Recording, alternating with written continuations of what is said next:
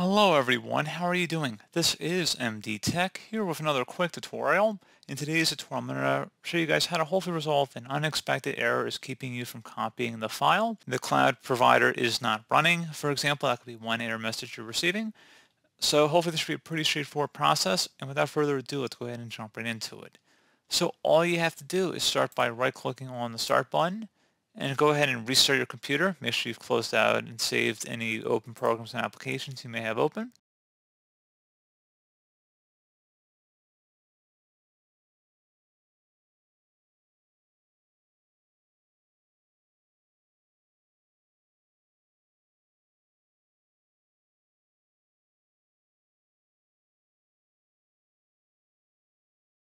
And there you go, guys. Honestly, simple as that. You should be able to be good to go. Um, if this is an issue specifically of OneDrive, in your case, you can try unlinking it from your PC and then relinking it, or even attempt to uninstall OneDrive and then reinstall it. But this error message is pretty broad, so I don't want to go down really any one specific rabbit hole on this one. But like I said, pretty straightforward process. Do a buzz to help you out, and I do look forward to catching you all in the next tutorial. Goodbye.